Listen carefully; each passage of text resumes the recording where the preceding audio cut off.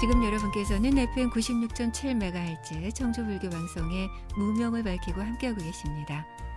이번 순서는 관음산 자비정사 주지이신 일봉 스님과 함께하는 반야의 샘 시간입니다.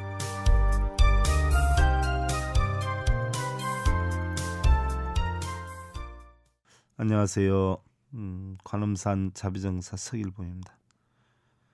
우리는 자칫 어, 남보다 많이 갔고요.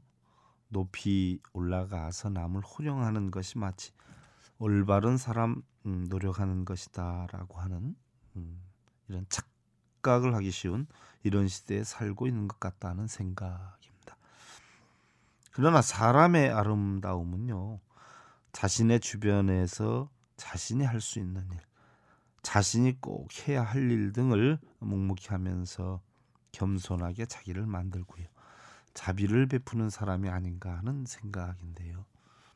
내가 사랑하는 것이 나를 사랑하죠. 그리고 하루를 행복하게 지낼 수 있는 사람이 많은 날들을 행복하게 지낼 수 있다는 생각인데요. 행복이라는 것은 외부에서 얻어지는 것이 아니라 바로 자신의 마음 속에 있는 것이 아닌가 하는 그런 생각이에요. 우리는 이들 더 나은 것, 어, 더 좋은 것, 또 더 높고 더 큰 것들만을 쫓을 것이 아니라요.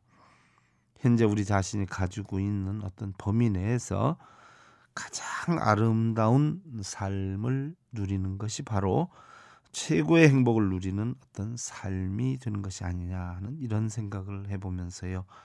우리 불자님들 오늘도 부처님의 진리로 행복을 심어주는 청주 BBS 불교 방송 무명을 밝히고의 경전교리 제 190회자 반야의 샘 시간을 통해서 여러분들께 인사를 드립니다.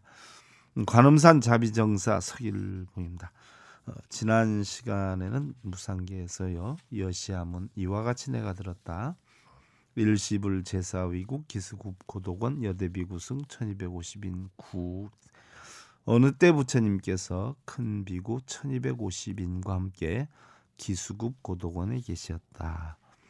개시대 아란 중소지식이다. 이들은 모두 큰 아라한으로 널리 알려진해서 어, 우리 성문 부처님이 우리 수행자들이 부처가 되면 성문 부처가 된다라고 했죠. 그래서 바로 아함에 있는 성문 사과 수다원과 음, 사담과 아남과 아란과 바로 아란이다라고 하는 것은요 음, 최고의 깨달음을 얻은 자를 말한다라고 했는데 그 아란 그 네 가지 그 과정에 대해서 성문사과에 대해 살펴봤어요. 그래서 음, 수다원과는 바로 신견과 개견, 의견해서 몸에 대한 견해나 어떤 종교 의식에 대한 견해를 잘못 알고 있는 거. 뭐 예를 들어서 우리가 무조건 뭐 기도만 하면 되고요. 연불 독경만 하면 되는 것으로 알고 있는데 사실은 그건 하나의 수행의 방편이긴 해도요. 그걸 한다고 해서 깨달음을 얻는 건 아니죠. 음, 바로 그것이 수행의 전부인지 알고 있는 이런 잘못된 견해를 우리는 개견이다 이렇게 표현을 한다라고 했고요. 또 의심을 하는 견해를 우리는 의견이다 이렇게 표현을 하는데 바로 신견, 개견, 의견을 없앨 수 있는 것이 우리가 성문 사과 가운데 첫 번째인 수다원과라고 했고요. 사담과다라고 하는 것은요. 음, 우리 탐진치였던 삼독심을 다소 어, 사그러들게 할 수 있는 능력 이것을 우리가 사담과라고 했고 안암과다라고 하는 것은 탐욕과 진해를 완전히 없앨 수 있는 과정의 단계를 우리가 세 번째로 어, 사담과라고 했고요. 안함과라고 했고요. 네 번째로 이제 아라한과가 바로 인과의 도리를 다 깨쳐서 바로 어리석음을 없애는 것을 우리는 아라한과를 잃었다. 큰 깨달음을 얻었다. 이렇게 표현을 한다라고 설명을 했어요. 그다음에 이제 장로사리불 마하목건년 마하가섭 마하가전 마하구치라라고 그 1250 제자들이 있었는데 그 가운데에서 한번 살펴보세요. 큰 아라한들이라고 했는데 쭉 부처님 계신데 계시단 말이죠. 거기에는 보면은 바로 장로 사리불 마하목건년 마하가섭 마하가전 마구치라 했는데 이게 다 장로 사 어, 장로 장로다라고 했는데 장로 사리불이다라고 했는데 여러분들 불교에서 장로라 그러면 뭐 기독교 용어 아니냐 이렇게 표현을 하지 않아요. 어, 근데 장로라고 하는 용어는 사실은 우리 불교 용어입니다. 음, 예를 들어서 구족계를 받아가지고요. 어, 5년 정도를 수행을 해서 자격을 얻으면요. 교수 어, 어, 아사리라고 그래요. 교수 아사리. 음, 교수다라고 하는 것은 어, 자기가 닦으면서 남을 가르칠 수 있는 능력을 갖추었을 때 교수 아사리라고 표현을 하고요. 교수 어, 아사리는 어, 행동을 가르칠 수가 있고요. 그다음에 이제 구족계를 얻어서 10년이 지나면은요. 또 거기에서 자격을 따면 이제 교수 아사리라고 그래요. 교, 아, 교사 아사리. 그럼 이제 처음으로 스승사자를 써요. 가르침을 주는 스승이다 해서 교사 아사리라고 써요. 여러분들 학교 교사 용어가 우리 불교에서 나갔고요. 대학 교수님들 교수가 우리 불교에서 용어가 나간 거예요. 그래서 10년이 나오면 교사 아사리가 되죠. 스승사자를 처음으로 써서 교사 아사리가 되는데 어, 교사는 뭐를 가르칠 수 있냐? 바로 행동과 말을 가르칠 수가 있어요. 그다음에 이제 20년이 지나면 그때 이제 어, 오래되셨다 노장이다라고 해가지고요.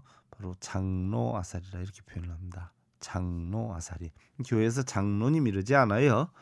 사실 불교 용어예요. 장로 아사리다라고 하는 것은 말과 20년이 넘으면 바로 자격을 얻어서 깨우침을 얻으신 음, 그런 분을 장로 아사리라는데 그 장로님은 어, 사실 말과 행동과 마음까지도 가르칠 수가 있어요. 마음까지도. 그래서 이때서부터 처음으로 제자를 둘 수 있는 자격이 생기죠. 그래서 사실 20년 이상 되신 분들이 제자를 둘 수가 있는 거예요. 음, 그래서 바로 어, 장로 사리불, 음, 장로 사리부다 사리불이 장로였어요. 또 사리불이라는 것은 어, 지혜 제일의 어떤 부처님 제자이셨잖아요. 나중에 이제 부처님보다 조금 어, 먼저 입적을 했는데 목련존자하고 어려서부터 친구다라고 했고요. 출가도 목련존자하고 같은 스승을 섬기기 시작했죠. 그러다 나중에 이제 목련존자하고 사리불존자하고 부처님께 같이 기일을 하게 됐어요. 근데 이제 부처님보다 먼저 어, 열반하셨고요. 마하목건령이라 큰 목련존자 여러분들 우란분경 목련경이 바로 목련존자에 대한 얘기가 나온 건데요. 그 부처님께 우치신 육신통을 가장 잘 하셨던 분이 바로 신통제일의 마하목건령이다. 그런데 육신통이라고 해서 무슨 요술 부리는 게 아니고요. 바로 연기이치, 연기이치를 가장 많이 터득한 분이다. 육신통이라는 것은 결국은 연기이치예요. 연기이치를 터득을 육신통이라 그러죠. 다음에 이제 마하가섭이라 마가섭이 이제 상수 제자예요. 교단의 상수 제자 두타 제리다. 그러니까 부처님 제자 가운데는 리더 격이었다, 캡틴이었다 이렇게 생각하시면 되고요. 그다음에 이제 마하가전년이다는 것은 남인도 사람인데요. 어, 부처님 10대 제자 중에 논의가 제일 잘 뛰어났다. 그래서 노인이 제일의 제자다 이렇게 표현을 하고요. 마구치라라고 하는 것은 사리불 존재의 삼촌이에요. 그래서 부처님 제자 가운데 문답을 제일 잘했다. 이렇게 여러분들 참고로 알고 계시면 되고요. 다음이 이바다 주리판타카 난타 아난타 라우라 교범바제 그랬어요. 그러니까 제자들 이렇게 아라한들이 많이 있었는데 쭉 소개를 하는 거예요. 여러분들 아, 예를 들어서 무슨 요즘 연말이라 음, 연말 연시 지난번에 보니까 뭐 막년에다 뭐 신년에다 해가지고 모이시면 어때요? 아, 이분이 누구시다, 이분이 누구시다 쭉 소개를 해주지 않아요. 바로 그와 같은 과정이에요. 그래서 그때 모이신 분들이 바로 이바다, 줄리판타카, 난타, 아난타, 라우라, 교본바제는 이바다라라고 하는 분은 바로 부처님 어, 제자인데요. 비를 피해 어떤 신사에 있다가 두 귀신이 송장을 보고 서로 자기 거라고 싸우는 것을 보고는 사람의 몸은 거지로 어, 거짓으로 화합된 것인 줄 알게 되어서 그때 음, 불법을 배워야 되겠다고 출가를 한 어, 제자입니다. 사실 어, 시체가 그 신이 서로 자기 거라고 싸우는 걸 보고 실체가 없다, 몸뚱이가 실체가 없다는 것을 알아서 출가를 하신 분이고요. 줄리 판타카다. 어, 형도 출가를 했고 동생도 출가를 했는데 형은 이제 굉장히 총명했죠. 근데 동생 주리판 다카는 가장 음, 어리석어 가지고 사실은 형이 창피하다고 내려가라라고 하니까 어땠어요? 내려가는데 부처님이 왜 내려가느냐 하니까 제가 아는 게 없고 아무리 수행을 해도 깨닫는 바가 없어서 내려가야 될 것 같습니다 하니까 부처님이 뭐라 그래요? 음, 바로 정녕 네가 깨닫고 싶으면 시키는 대로 하겠느냐 그랬더니 하겠습니다 해가지고 데리고 가서 절 청소를 시키잖아요. 그래서 음, 빗자루 하고 먼지털이를 주면서 어, 빗자루를 쓸 때는 꼭 마당을 쓸고 하면서 빗자루를 쓸고 그 다음에 먼지를 털 때는 꼭 먼지를 털고 하면서 쓸어라 해가지고 한 2년여 가까이 했는데 이제는 완전히 도사됐잖아요. 마당을 쓸 땐 마당을 쓸고 마당을 쓸고 마당을 쓸고 하고 먼지를 털 때는 뭐 먼지를 털고 먼지를 털고 한 2년 가까이 하니까 뭐 도사가 됐어요. 그러다가 이제 어느 날 돌부리에 부딪혀서 넘어지게 되지요. 문득 넘어지면서 부처님이 왜 나한테 이렇게 청소를 시키셨을까 하는 생각을 하게 돼요. 그러다 보니까 순간 스쳐 지나가는 깨달음이 있었죠. 바로 뭐예요? 음, 부처님께서 맨날 마당을 쓸고 먼지를 털고 하는 것이 어때요? 바로 내 마음 도량의 마당을 쓸고 내 마음 도량의 먼지를 털으라는 말씀이 아니셨는가 하는 생각을 하다 보니까 거기에서 그냥 막 정신이 번쩍 드는 거예요. 그래서 부처님께 쫓아가가지고 부처님 제가 맨날 먼지를 털고 마당을 쓰는 것이 바로 제 마음의 도량의 먼지를 털고 마당을 쓰라고 하셨던 말씀이 아닙니까 하니까 부처님께서 옳구나 이제 네가 깨달았구나 해가지고 깨달음을 얻으신 제자인데요. 나중에 이제 니승 교단의 어, 크다란 스승이 되었습니다. 이 주리판탁하고요. 그다음에 이제 난단데 난단은 가비라성이 이제 왕자지요. 부처님의 배다른 동생인데 결혼을 하려 했지만 어, 부처님이 방편으로 해서 출가를 시키지 않아요. 어, 바로 난다 안 한다 어, 표현을 하는데 부처님 뭐 26년 시봉을 한 그런 제자이기도 하고요. 안 한다. 음. 바로 어. 안 한다. 난타도 사촌 동생이고 안 한다도 결국은 음, 사촌 동생인데요. 어.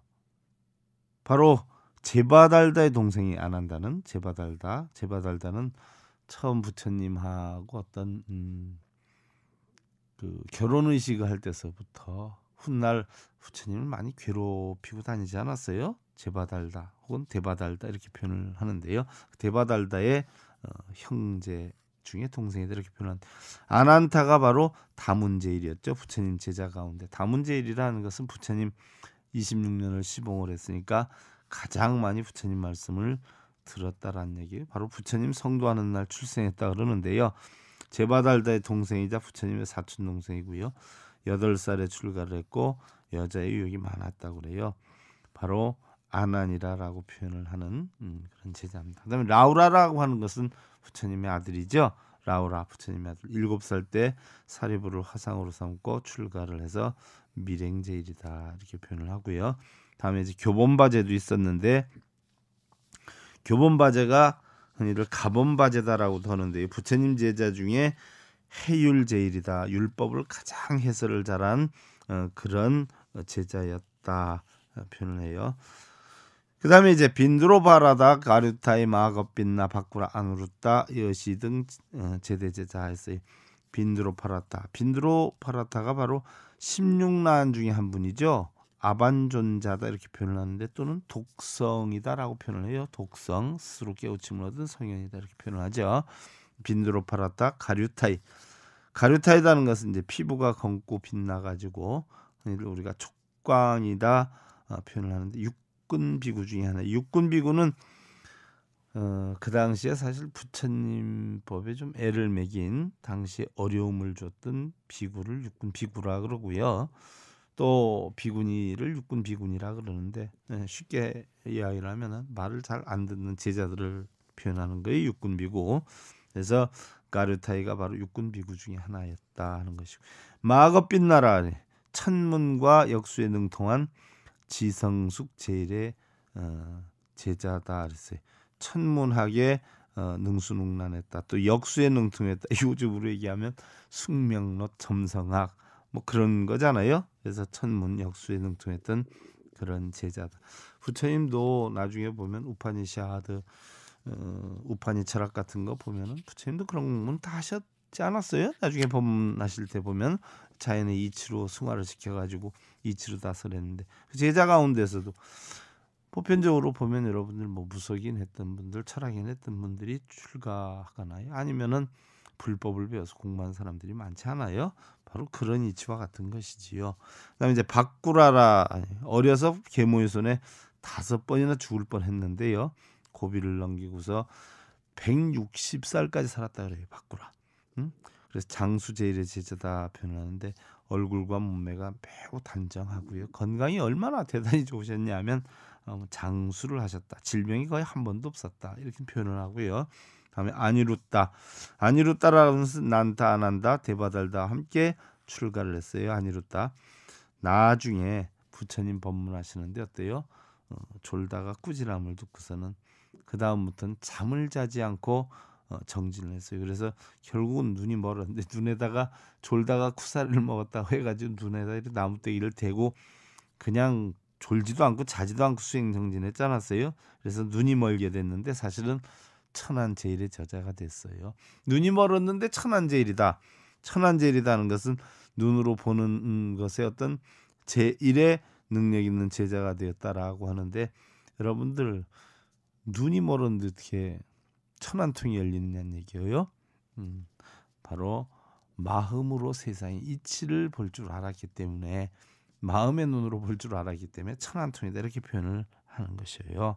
이런 제자들이 쭉 있었고 그 다음에 이제 어, 병제보살 마살 또 어, 커다란 보살 마하살 대보살들이 있었는데 거기에는 문수사리 법왕자 아일다보살 건타제보살 어, 이런 분들이 있었어요.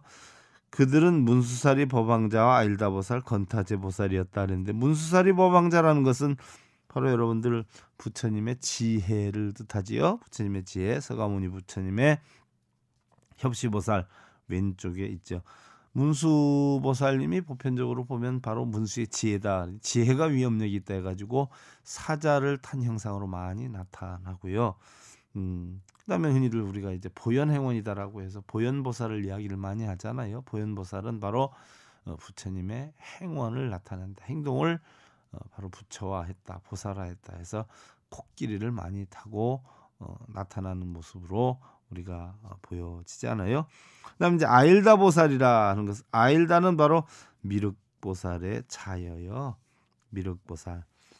미륵 보살이 가장 뛰어났었다 해서 바로 어, 아일다 보살이다 이렇게 표현을 했는데요. 음, 여러분들 뭐 흔히들 아는 어, 그 옛날에 용화세계 이 다음에 용화세계 미륵불로 나오는 보살이 용화보살이다 이렇게 볼 수가 있고요. 다음에 이제 상정진 보살, 상정진 보살이 있고 음, 여여시등 제대보살, 급석제환 인등무량 제천대중 구 그랬어요. 가출구 있었다. 즉 상정진 보살 등이 있었으며 아울러 석제환인 등 급석제환 모든 하늘의 대중들이 함께 있었다. 그래서 이것이 이제 첫 번째 품이에요. 쉽게 예를 들면 어, 법회를 열게 된 그런 어떤 계기, 이유, 또 법회를 여는데 누구 누구 있었나 하는 그 환경이나 장소를 소개한 게 제 첫 번째 어, 품이고요. 다음 품이 이제 불로 의정분이다, 불토 의정분이다 이렇게 표현을 하는데 불토 의정부는 바로 극락 국토를 건설하는 내용에 대해서 어, 말씀을 하셨어요. 그래서 이 시에 불고 장로사리불 그때 부처님께서 고 장로사리불 장로인 사리불에게 말씀하셨다. 장로는 아까 말씀드렸죠. 큰 스승이라고요.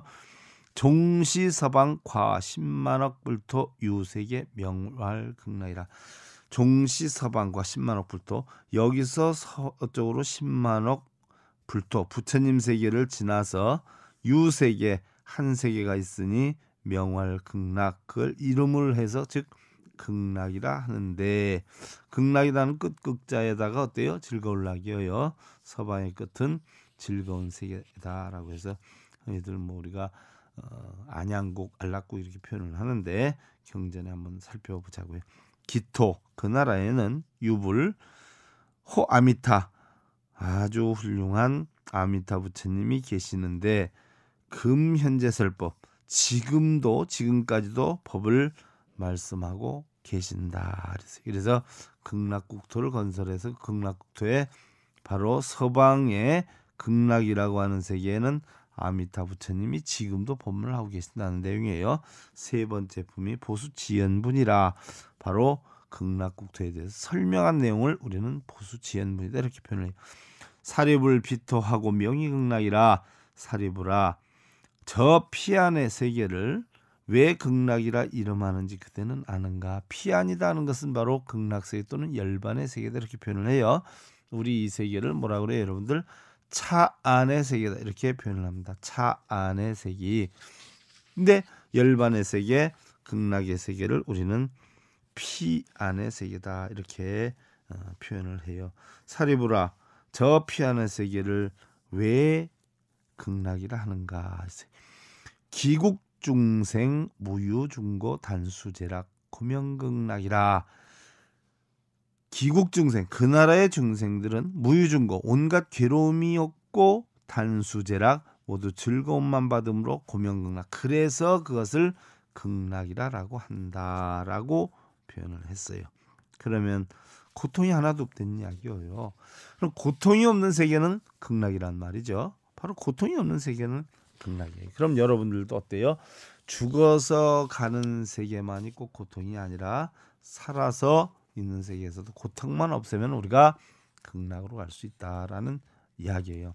우리가 세상을 살면서 음, 고통 속에 살고 있어요. 그래서 이 고통 번뇌를 없애는 게 우리 불교 수행의 근본 목적이라고 그랬어요. 그래서 바로 어, 무명을 없애야 된다. 무명하기 때문에 우리는 번뇌를 받는다라는 이야기예요. 여러분들 생각해 보세요. 음식점에서 음식이 담기는 그릇이 음식 맛을 모르고요. 어, 식당에서 국을 푸는 국자가 음식 모르듯이 절에를 다녀도 여러분들 이치를 모르면요. 어, 백날 다녀도 그 고통받는 벗어나지를 못해요. 우리가 흔히 어때 남 잘 되는 것 보면 시기 질투하지 않아요? 그게 바로 독약과 같은 것이다.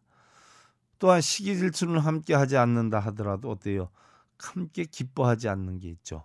어, 이런 것을 우리는 약한 독약이다 이렇게 표현을 하는데요. 무명으로 인해서 생긴 번뇌 이런 번뇌를 없애면은 결국 어때요? 극락으로 형성이 된다. 우리가 어떻게 보면은요 젊어서는 재력이 있어야 살기 편안하지 않아요? 근데 나이를 먹어서는 건강이 있어야 살기가 편안해요. 또 어떻게 보면 젊어서는 재력을 못 느라고 전부 재력을 쌓고 모으느라고 건강을 해치는데요. 나이 먹어서는 어때요? 그 쌓아놓은 재력을 다 허물면서 또 건강을 지킨단 말이죠. 어떻게 보면은 여러분들 제가 우리 불자님들한테 그래요. 여러분들 자기가 물건을 가지고 있는 걸 남한테 뺏기면 좋으냐 안 좋으냐 안 좋다 그래요. 여러분들 너무 돈을 많이 벌었을 때 나중에 갈 때 빈손으로 가는데 다 뺏기는 거 아니냐. 남한테 뺏기는 거 좋아하지 않으면서 뭘 그렇게 많이 뺏기기를 원하느냐. 어떻게 보면 재산이 많을수록 죽는 것이 억울하죠. 인물이 좋을수록 늙는 것이 또 억울하다 그래요. 그러나 아무리 재산이 많아도요. 죽을 때 가져갈 방도가. 아무리 인물이 좋다 해도 죽어서 안 썩을 도리는 없지요. 어찌 보면은 우리가 아파봐야 건강을 알 수 있고요. 또 늙어봐야 시간을 알, 가치를 알 수 있고요. 권력이 자칫 너무 커서 철장 신세가 되기도 하잖아요. 요즘 많던데 그런 게 또 재산이 너무 많다 보면 자칫하다 보면 쪽박 신세가 되기도 하고요. 많아서 좋은 것도 있지만 많아서 안 좋은 것도 있어요. 그러나 분명한 것은 어때요, 여러분들? 명예나 권력이나 재물이나 이런 걸 쌓고 모으는 만큼이나 우리 정신적 건강이나 인격적 도덕이나 어떤 윤리 이런 것도 쌓았으면 하는 그런 마음이에요. 우리 불자님들 많은 사람들이 어제 속박에서 벗어나지 못한 채 매일 아침 잠에서 깨어난다는 생각인데요.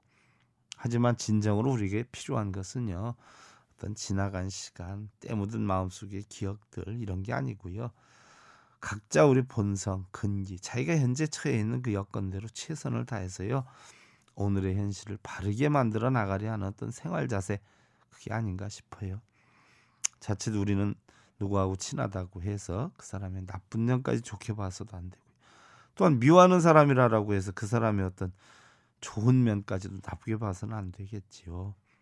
우리 대부분의 사람들은 어때요? 자기는 옳고 상대방을 잘못됐다라고 하는 것을 지적하는데 너무 많은 시간과 에너지를 쏟고 있잖아요. 그러나 이젠 상대가 나에게 무엇을 해줄 것인가 보다는 내가 상대를 위해서 아내로서 음, 부모로서 자식으로서 어, 무엇을 해줄 것인가 하는 것을 생각하고 찾아서 하는 그런 아름답고 행복한 새해를 만들었으면 하는 바람입니다. 어, 그동안 관음산 자비정사 서일봉이었습니다. 여러분들 감사합니다. 성불하십시오.